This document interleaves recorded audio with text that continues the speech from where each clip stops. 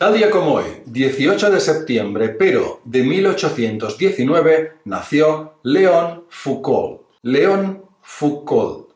Léon Foucault. Un físico y astrónomo francés que, entre otras cosas, midió la velocidad de la luz, hizo las primeras fotos del Sol e inventó el giróscopo. Pero como yo, seguro que conoces más su nombre por el famoso péndulo de Foucault un enorme péndulo con el que demostró experimentalmente la rotación de la Tierra en 1851. Un péndulo es un objeto pesado que se mueve suspendido por un hilo o varilla, más larga que ese objeto pesado. Viene del latín pendulus, pendiente. Cuando algo está pendiente significa que pende, que está suspendido en el aire por algo.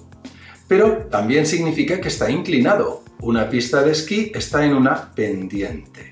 Otro significado de pendiente es que está muy atento o preocupado por lo que pasa, como tú, que estás pendiente de lo que estoy diciendo y no tienes distracciones, ¿verdad? También, como dije en el vídeo del 9 de julio, un pendiente es un adorno que muchas veces se lleva en la oreja y que en muchas partes de Hispanoamérica tiene otro nombre que puedes ver en el vídeo del 9 de julio, que te dejo más abajo en la descripción.